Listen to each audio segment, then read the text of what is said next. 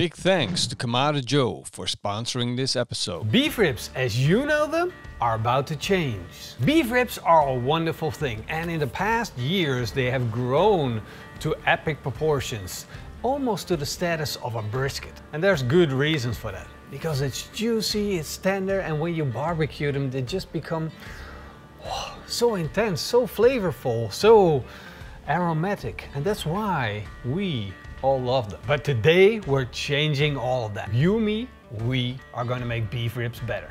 Woo!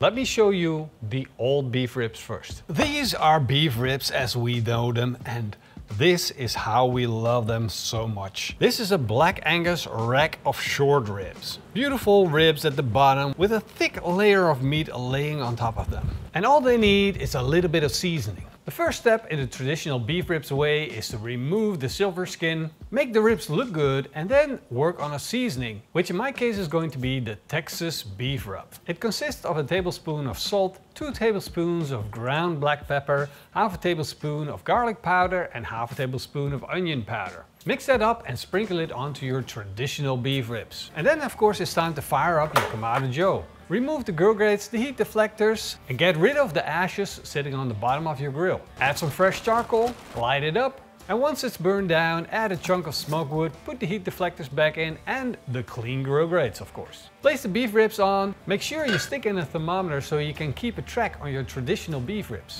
And set the barbecue to smoke at a temperature of 140 degrees Celsius. Once the beef ribs hit a core temperature of 70 degrees Celsius, it's time to wrap them. Place the ribs back onto the barbecue and let them cook until a core temperature of 92 degrees Celsius which is really important to get the perfect traditional beef ribs.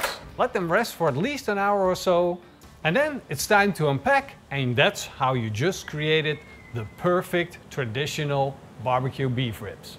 Now let me show you the other way to make beef ribs. And you probably haven't seen this before because it's never been done before. Beef ribs are not the same as baby back ribs. Beef ribs are more like a special cut, something really completely different compared to what we do with our pigs. And the idea with the pigs is that we use waste and turn them into something delicious. That's why barbecue meat traditionally is very cheap. But somehow when beef ribs got into play, we forgot all about that and took a most expensive cut and then turned it into something freaking expensive, which tasted good, but cost a lot of money. How about we go back to the original idea, take a little bit of waste and make that freaking amazing. And this is my waste because this is like the baby back ribs of beef. Maybe you recognize it from the back.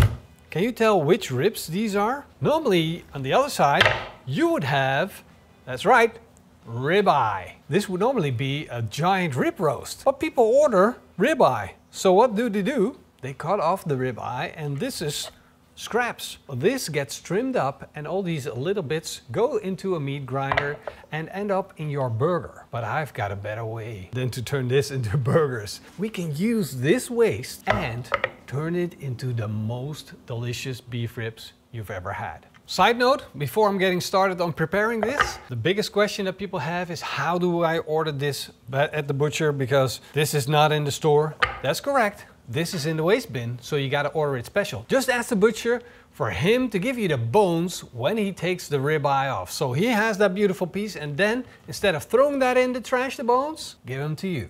Well, maybe you pay him a little bit, but you get the idea. You gotta have your butcher on speed dial anyways, because there might be a Pitmaster X video on Thursday and you need it by Friday. I'm gonna sprinkle down a little bit of the beef rub we made earlier. I'm gonna flip it around and do the same thing on the other side. Now with the membrane, we do want to cut into it. Normally I would just tear the membrane off, but with these ribs, we're going to use a technique that requires us to leave the membrane on. Then the rub goes onto the membrane, and now it can actually penetrate into the meat. And to make sure that that happens, I'm gonna rub it in with my hand, get it nice and in there, in the nooks and crannies, little bit extra, more flavor, the better it is. And now this is also ready for the barbecue. I currently have my Kamado still set up the way that it would traditionally be set up when smoking beef ribs. But that's gonna change because we're not smoking the traditional beef ribs. No, no, no. We're going to be roasting. Oh, that's hot. I burn, I burn myself again. I'm gonna remove the heat deflectors and we're gonna expose the charcoal that sits on the bottom. And with my ash tool, I'm going to remove all the ashes, let them fall into the ashtray, breaking up the big block charcoal a little bit so it's nice and evenly spread out. And then it's time for me to put the grill grates back in. And now I'm going to put the ribs straight onto the barbecue. And look at the size of this piece of meat. And now I'm grilling these beef ribs over direct heat. The heat is coming straight up to that membrane and roasting in it at a temperature of around 140 degrees. But the difference between this and the traditional beef ribs is that we have radiation heat instead of convection heat. With this setup, I gotta make sure that I control my temperatures because the fat of the meat is going to render down, it's going to drip into the fire, it's going to create all kinds of amazing flavor. But we want things to slow down. I want it to really be roasted at a low temperature as possible. So I'm going to go down to the bottom vent. I'm going to set it to like a millimeter, like a tiny bit. So you can just fit the nail of your finger into it. That's the only little bit that's going to be open. And at the top, we're going to leave it open so the hot air and the smoke can escape. So we have clean air coming up from the bottom and we're basically smoldering the fire a little bit. We gotta check on it regularly because it's to go a lot faster than with the smoked beef ribs. It's more of a gentle version, the traditional one. And now we're really getting into the hardcore version of it. 20 minutes have gone by, time to check on the ribs. Wow, look at that. The bones already started popping. Now let's take a look on the other side. Whoa, look at the caramelization of the meat. The membrane started to crispen up and that's why we needed to cut into it so that it will turn into crunchy, delicious meat. And this thing is starting to look freaking amazing. Bones are starting to pop, which means the meat is tearing off the bones. We're getting nice crusty bark on the outside. Now we're going to do exactly the same thing at the other side of the meat. And as you can see, we're getting flare-ups from the fat dripping down. So we got to close the lid quickly and let this beautiful meat continue to cook. We want just as nice of a crust.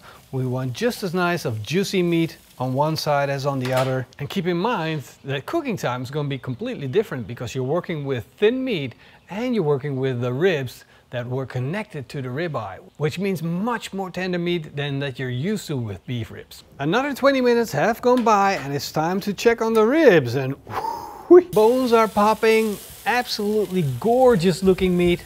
Look at that caramelization, look at that redness. And you can see we got a little bit of a shiner here, the fat's rendered down. This looks like one of the best barks that I ever had on beef ribs. And I achieved this result in only 40 minutes of cooking time. I am waiting for the applause, do you hear it? Do you want to taste it first? And before we taste it, of course, we're going to do a long rest because we've been stressing out this meat like no other. The meat is shrunken up and it's just like, it feels like this. And then we need it to go like this again, like, oh. I'm going to wrap these ribs up so that we can do a side-by-side -side comparison to our traditional ribs. Before I'm going to show you the end result, I'm first going to give you my favorite beef rib sauce. This is our new and perfected Alabama white sauce made out of one cup of mayonnaise, half a cup of apple cider vinegar, half a tablespoon of salt, a tablespoon of garlic powder, a tablespoon of sugar, a tablespoon of coarse black pepper and two tablespoons of horseradish. And we finished off with one teaspoon of Worcester sauce. And we always keep on perfecting our sauces and we think this is one of the world's best versions of the Alabama white sauce. Let us know what you think of our recipe. And now we're ready for the side-by-side -side comparison. Of course the taste test is going to be performed, but first let's take a look on the outside of the ribs and see what the difference is between traditional and the new way to grill ribs. Let's first take a look at the bark of this beautiful traditionally smoked beef rib. You can see that the color of the bark is dark brown. It is moist on the outside because it's been wrapped and it's been resting and the bark looks freaking amazing. There's a little bit of dark red visible here and overall it looks very very tasty. But then let's go over here and take a look at these roasted beef ribs. The color spectacle on these ribs is phenomenal. We got dark red, just like beef jerky over here. Then we got some of that barbecue bark over here. We got rendered out fat here. So we got so much more different colors and it looks so much better than the traditional smoked beef ribs. Now in itself, that's not saying much, because looks can be deceiving and it all comes down to what it tastes like. A good telltale sign to see if you cooked your ribs properly is to see if the bones already popped. So the meat starts pulling away from the bone. You can see that it happened to our roasted ribs and you can see that it happened to our smoked ribs. Are they fall apart tender? Well, let's find out. Let's see with the grilled ribs. Can we pull them out? We can almost pull them out, but we have to apply a little bit of force. Same with the beef ribs. We can pull them out, but it's not fall apart tender. Now let's slice into them and take a look inside. Look at that. A beautiful smoke ring, juicy ribs, all around great tasty looking ribs. Let's take a look at the traditional beef ribs. Beautiful smoke ring once again delicious and juicy, just like we like them. And now comes my favorite part, the taste test. Right, grilled ribs first. Mm.